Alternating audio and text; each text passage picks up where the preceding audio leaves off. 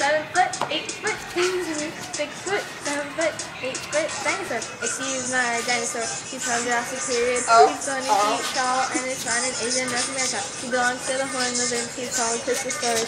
You don't want to stop him because the T is for Cryptosaurus. You can't understand him because when he steps on the world stage, all the wrong people for the uh, split. Then suddenly the dinosaurs disappeared and quit.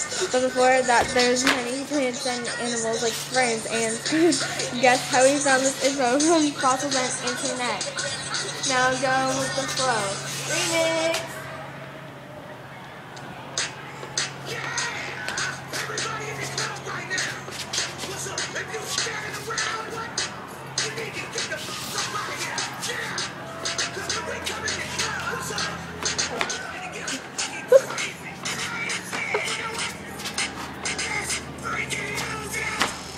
Get out of your dinosaur. Get out of your dinosaur. Get out of your dinosaur. Get out of your dinosaur.